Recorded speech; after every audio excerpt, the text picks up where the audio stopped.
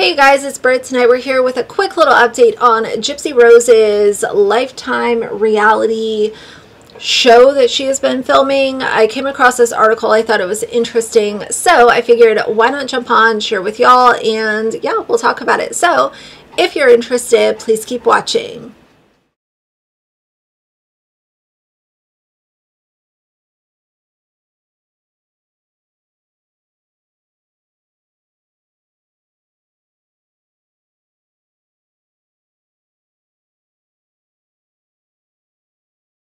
Alright, you guys, so this article comes from Yahoo Entertainment, and it says Gypsy Rose Blanchard reportedly staying clear of her ex even on camera. Gypsy Rose Blanchard will no longer be filming her reality TV series with her estranged husband Ryan Anderson following their separation. Producers have removed Anderson from the show, Gypsy Rose Life After Lockup, and are only interested in documenting Blanchard's life moving forward. Anderson believes that a call from Blanchard's ex fiance played a part in their separation, suspecting it was a calculated move to re- reinsert himself into her life. The former convict who filed for divorce last week will no longer be filming her reality TV series with her ex spouse.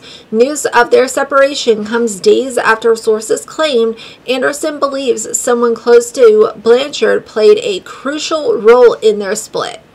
According to insiders, Blanchard has not shot a single scene with her estranged lover following their separation, and it's not going to change for the foreseeable future. Production sources for Gypsy Rose Life After Lockup explain that the former couple has not been on set together for the show's second season.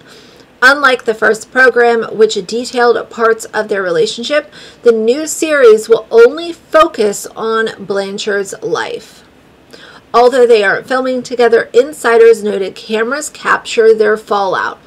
This appears to be the only scene featuring the pair as they no longer live together and are moving in different directions. Despite Gypsy Rose Blanchard and Anderson's perceived differences, sources claim the former couple never asked to be filmed separately.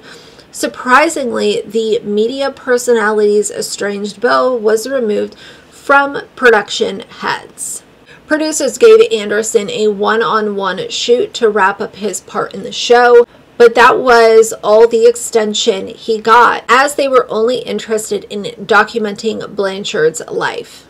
The production for the show is still ongoing, but sources noted it will be soon it will soon be concluded, marking the final chapter for Anderson and Blanchard on screen. And then it summarizes, you know, how long they were together, it goes over the Ken stuff. So I'm really interested to see what did the cameras capture? Did they capture a big blow up fight? Did they capture, um, you know, text messages that Gypsy was sending to Ken? Did they capture Ryan being um, really abusive towards Gypsy? I cannot wait to see these clips when they come out. I will be watching, and I just think that this is another chapter of what the hell did Gypsy Rose do? What did she do with her life after lockup? I feel like I am in a different form of prison. Gypsy Rose's ex-husband Ryan Anderson has just posted something on Instagram and I'm a little bit concerned. Like in my opinion, this is not the post of somebody that is okay mentally. As you guys know, Gypsy Rose Blanchard filed for divorce from Ryan Anderson after just three months of living together. Parties are claiming completely different reasons for the dissolution of the marriage. Gypsy Rose claims that she was completely unaware of Ryan Anderson's food hoarding issues. Add even more fuel to the fire, the former couple also allegedly fought about the way they slept that night, with Anderson snoring and becoming a human furnace. Ryan claims that it is none of these issues, but in fact, her reconnection with ex-fiance Ken Urker. I find to be a lot more believable. Like when you get married, married and make your vows, you agree to stay together in sickness and in health, even if that means that you are overheating. Love your partner regardless. Why I'm concerned about Ryan. First of all, this photo. I've never seen such sadness in someone's eyes like this. Caption simply says, new pic dot dot dot. I feel like a lot of people online have been cruel and unkind to Ryan, and maybe I can fall into that category as well. At the end of the day, this is a very heartbroken man who was in love with somebody, waited for somebody to be released from prison to start a life with them. None of it worked out the way he wanted to. You guys think, are you Team Ryan or are you Team Gypsy? This could have been I talk about not often, but kind of often, these golden opportunities that are given to public figures. It's like, here's everything you need on a gold platter with a silver spoon attached to it. And they fumble the bag and they blow it to smithereens. And I don't understand it.